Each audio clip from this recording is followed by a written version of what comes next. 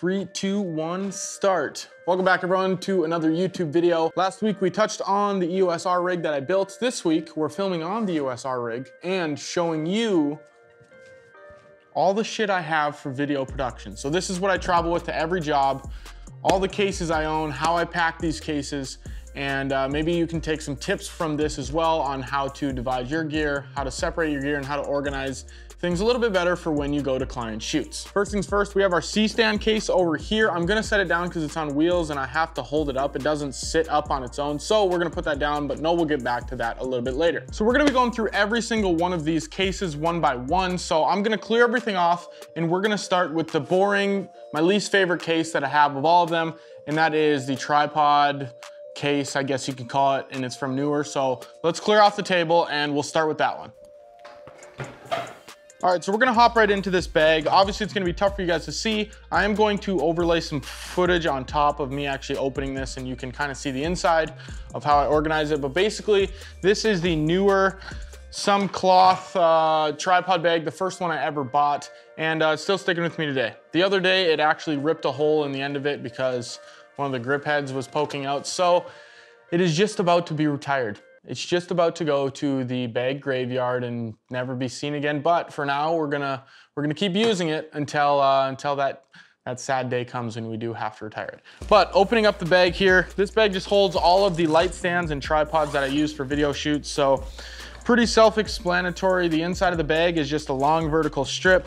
I have one, two, three, four, five, six, seven light stands in here, and then a travel tripod which is the Sunpak Travel Light Pro. I hate this tripod. It is one of the worst. And then we have a few grip heads, a grip head with the microphone holder on top of it. So that's good for holding microphones. Keep all my grip heads in this bag.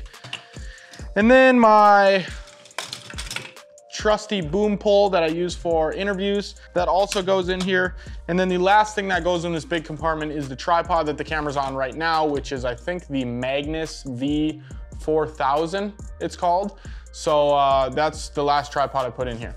And that's generally everything that goes in this bag. There might be some knickknacks here and there that I also throw in there, but for the majority, that's everything. In this front pocket here is these Home Depot clamps that I got for 99 cents.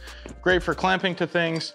And uh, I also have a friction arm that I don't use very often, but when I do use it, it gets the job done. Nothing special. Just this pocket is kind of a utility thing for any clamps or clips that I might need. Like I said, this bag is going to be retired soon because the zipper's broken. There's holes on both ends of it, but it's treated me well for the price. I think I've had it for over a year now, so it hasn't been terrible. Moving on from the tripod bag, we are gonna move to the bigger tripod bag, which is actually not being used for tripod. So let's move over to that bag now. I'll clear this bag off and we'll throw this one on top. All right, so the bag that we're gonna go over next is the Think Tank 44 inch stand monitor, I think it's called. I'll link it below and also put it over top of this. But this bag is great, super heavy duty. The wheels on it are amazing and they've been super high quality so far. The back has skid rails to throw it in the back of a truck, the back of a car, the back of wherever you want, the back of a saddle if you're riding a horse. You throw this thing anywhere. Horse might get tired, a little heavy, but let's open up the inside and I can show you guys what we're working with. It does have these nice Velcro straps on the outside, so that's kind of cool. But if we open it up here, you guys can see that it is nice and elongated and great for, you know, uh, dead body, a small coffin, whatever you want to put in here. Um, you can also use it for photography and videography stuff like I have. So on the left side, we have a couple cables for my Neewer lights on the right, a shit ton of sandbags on the left. Well, it'd be your guys' right. On my left are these sandbags. Under the sandbags are extension cords. So any power strips that I need on set, I can run those and uh, those sit right under the sandbags. So in here right now, I have four sandbags. I do have four empty ones that are not being used right now, but I haven't needed them. If I ever need them, I can surely put sand in them and use them. But four sandbags on this side. I made sure to keep the sandbags on the bottom of the bag when I'm pulling it because then it keeps the weight towards the bottom and I don't have to have it be top heavy when I'm pulling it around. I also have a sleeve of gels in here and that's about all. On top of the zipper pocket, we have a little portable light here, which is, uh, it's a light. I never use it, but in case I ever need it, there it is. Also have a handle for said light. Can run around like Indiana Jones. Indiana Jones carried a lantern, didn't he? But modern day lantern. That goes in that pocket there, and we'll move on to this side now, which is my right, your guys' left. Directions are cool. Yeah, so on this side, we have this pouch, which keeps a bunch of random accessories if I ever needed it. I have went over what's in this in my 2020 what's in my camera bag video, so I'll link that up top. I'll also link it at the end if you guys wanna watch that. But basically in here are chargers, headphones, um, adapters, there's a couple hard drives in case I need, some extra batteries. Just the generic stuff that's, uh, if you get down into that oh shit moment where you're forgetting something, this bag comes in handy. Slide that in nice and tight. This bag does come with a sweet little divider in the middle, so that's very nice. Next to that, we have some gaff tape, which I just throw in here. Gaff tape's essential for every videographer these cables, which were actually on this side. The cable that is using this light right here actually goes in this bag too, so this will go with these two cables, but we're powering it right now to light this video. We have this spotlight cylindrical thing for the Godox SL60W in case you need that, and also the cover. Those both go in this right side. And then two Neewer LED panels for hair lights, backlights, room lights, whatever you might need just two panels here. So this sit here, this Godox SL60W that is off frame that we're using to light the scene also sits next to these Neewer panels and then everything else you just throw in here wherever and Bob's your uncle, Sally's your aunt. Carol's my grandma. I actually have two of them, two Carols. So that is what is in these bags. In this zipper pocket is honeycomb grid. So if you need to attach that to a softbox, make the light a little bit more directional, you can surely do that. Zip that up. In this pocket is, I don't even know, zip ties. In case you ever kidnap someone, you need to zip tie their hands together. So good pocket for kidnapping. Um, that's everything inside of this bag. Let's move on to the bigger black bag. I call it the bigger black bag, but it is the Think Tank 52 inch C-stand manager, something like that. I'll link it obviously, but let's move on to that bag. That's what holds the C-stands. All right, so this bag's quite heavy. Now that I think about it, I should have shot this more vertical so you guys could actually see these bags standing up. But opening up this bag, just like the Think Tank uh, stand manager 44 inch, this one is very it's got hard, um, hard padding. Let's just put a hard padding. It's got some hard padding um, and it has some cinch down clamps on the outside to tighten things. But when we open it up, first thing we see are all of these C-stands laid out. This back pocket here is where I keep my softbox for the light that we have now. We're not using it, so if we pull this out, here's the softbox case. This just slides in the pocket, nice and easy, all the way to the bottom, and uh, good to go. So other than that, we have three C-stands in here with the C-stand arms. Um, I'm not gonna take them out because they are kind of a pain in the ass to put back in there, but super nice. I was looking for a bag that could actually fit the C-stands because a lot of them don't. They're not long enough, but when you break these down, if you get a C-stand with legs that can come off, uh, they fit in here pretty sweet. So I think it says you can fit up to four C-stands. You can definitely fit more of the columns laying down. Um, you could probably fit at least six of the columns, but the legs might be a struggle to get in there. So this C-stand bag, one of my favorite purchases that I've made as far as video production traveling goes, from office to business to film things. This has been a lifesaver, not having to carry every single C-stand into the building. So I'm super, super happy that I got this. Let's move on to the actual fun stuff now, which is the Pelican cases, which holds the brains of the operation, the cameras and all the fun stuff. So let me throw a Pelican case on top. Oh, she's a beefy boy. Okay, starting with the Pelican Air 1615 hard case. I'll lift it up here. It's pretty big. You can see if I stand it up on this table, it's, it's pretty large, right? So it's, it's decent size and you can fit a lot in it. Now we're gonna open it up and see what I actually do put in it. So when you open this up, it does have a foam padding on top, which you can switch out for, you know, a divider where you put in zipper pockets and all that kind of thing. But I've decided to go with the extra padding and keep the foam.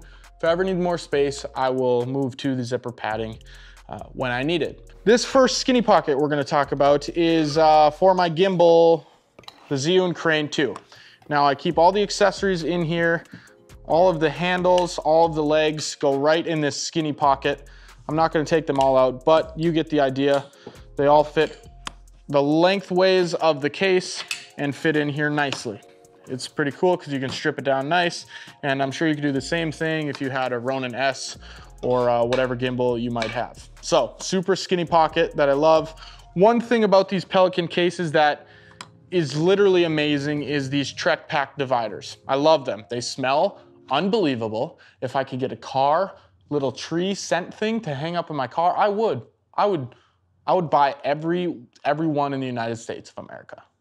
Continental. I can't I can't go to Hawaii and Alaska, but continental United States, I buy every single one, put in my car, smells amazing, still smells good, and I got them a while ago. So let's move on from the smelling of the TrekPak dividers and uh, move into this far pocket here. Now what I keep in this is mainly batteries for my rig that we are filming on right now, uh, Nucleus Nano case, which is a Nucleus Nano case, holds all the things cases hold. So open this up here, show you guys. This holds all the accessories you need for the Nucleus Nano. I slide that in the side. This holds my V-mount batteries, so V-mount battery one. This has some NPF batteries in it because the other V-mount is on the back of the camera, but those two cases sit on top of the trusty drone, which is the Mavic Air 2. Comes with the Fly More combo, so it even came with its nice little case. Unzip it, there's the pretty drone. Sits in the Pelican case perfectly. So slide this in the side and then right on top sits my batteries. So we'll put these back and move on to the middle compartment, which is audio. So basically how I designed all my Pelican cases is to put the things in different compartments so I know where everything's at every single time. This side, batteries and drones. Middle, audio. Far left is all the rig accessories. So when I have to strip down my EOS R rig, I put the accessories in this far spot like the handle, the cage, the Atomos Ninja 5, nucleus, all that stuff goes in this big empty compartment. Now, if we go to the audio section here in the middle, we have two XLR cables to run our boom mic. We have our boom mic holder, which does exactly what it says. It holds the boom mic. Just sits right in here, plugs into the XLR cable. Next to that, we have a pair of headphones, Sony, whatever they're called, I'll link it. And uh, these are super nice for listening to audio in the middle of the interviews. We have our two mic condoms, sleeves, whatever you wanna call them. This one's good for wind. This one's good for less wind. Next to that, on the very side, we actually have the Rode NTG3, which sits in this nice, pretty black leather bag like I'm about to be an arms dealer and it's a it's a um, it's a bundle of cash, but really it's just a microphone, which I spent a lot of cash on. So this goes in this nice little sleeve and then uh, put that away. Under that, under next to that, we have this little pouch, which carries my lav mic. There's nothing in this bag because I'm wearing a lav mic now because I wanted to show you guys everything that I could. So minimal setup, lav mic's on me, but it usually goes in this case.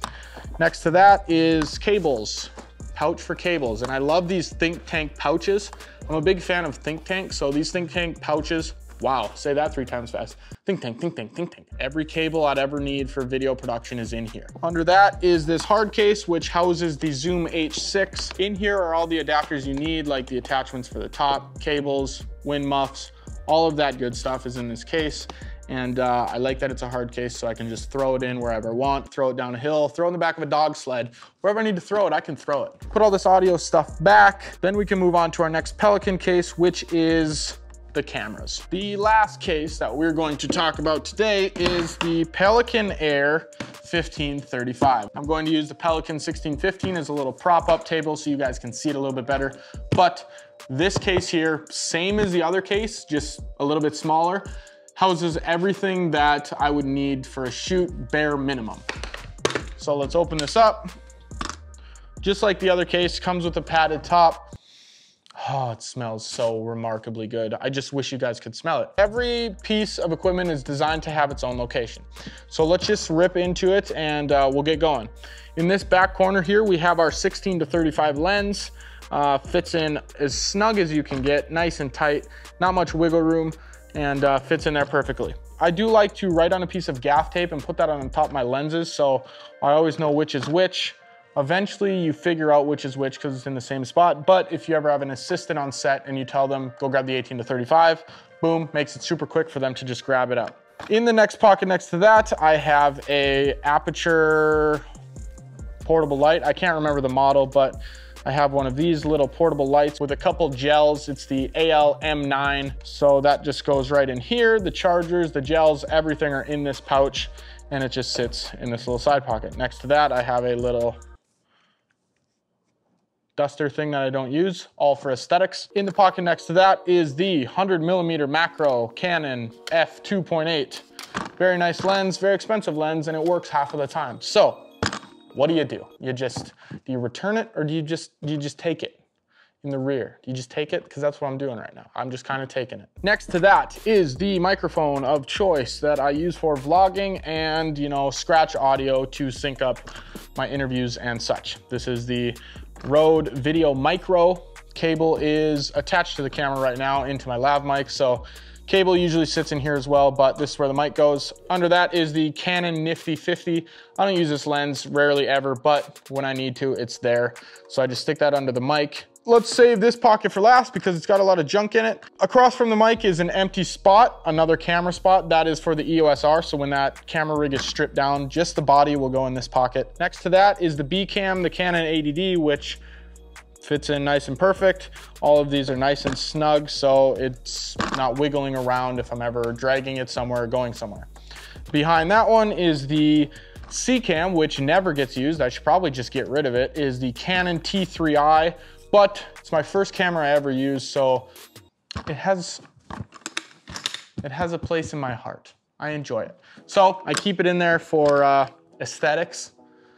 And if I ever need it, if both my other cameras just jump off a cliff, that baby's there for me. Next to that is a bigger pocket with another empty space. That is the house for the Sigma 24 to 70, which is on the camera right now. So that sits here nice and snug. And then next to that, since there is some wiggle room, are some Manfrotto base plates that I use for my tripods, gimbals, all the works. So that's what this pocket's for. Next to that is the SD card case, which is also from Pelican. I do not love it. It's foam on the inside and sometimes hard to keep your SD cards to stay, but that slides in nicely right here. Next to that is a black hard case that has a bunch of knickknacks so in here is a pocket knife. There is some finishing powder in here in case a client gets really oily and greasy during an interview. You can put this on their face to kind of cut down the shadows. On this side of things, there are a couple Allen wrenches at the bottom, a couple microfiber cloths, and then sitting on top of that are my moment lenses. So if I ever need to get anything with my phone, the moment lenses are here to be uh, used whenever needed. And the last pocket that we're gonna go over is this bigger pocket, which houses a few different things. One of the things being batteries. So batteries on top. In here are camera batteries. And in this one are AA batteries, rechargeable. I can't stress enough how important it is to have rechargeable batteries because shit hits the fan and you need more batteries, you don't want to be raising the stock price of Duracell just because you constantly buy their batteries. So get the rechargeable ones, thank me later. Next to that is a SmallRig tool to put whatever I need together, put some accessories on my cage together, put it on a tripod. There's a flathead, there's a couple screwdrivers, a couple Allen wrenches. This thing is a lifesaver, so everyone should have one of these in their kit. Under that is my filter case for all my ND filters and step up rings. So as you can see here, pull it out, ND filter. Under that is this makeup brush. So to use that finishing powder that I explained in there, here's a makeup brush, pretty self-explanatory. And under that is the DJI Osmo Mobile 3, which is a phone gimbal. So that all stacks in there super nicely. This thing I don't use a ton, so it just goes at the bottom. And if I need it, I need it. Brush, filter case, batteries, batteries, SmallRig tool, done. So that's pretty much the whole entire case, top to bottom. those one, two, three, four, five cases are all I ever need. Most of the time, all I ever need for my video production work. Sometimes I'll bring a laptop bag or whatever, but it's generally these cases that gets me through everything. Hopefully that's a cool insight to get to see how I pack my gear. All the gear that I own, that's pretty much all of it except a couple accessories here and there, but this is pretty much everything in five different cases.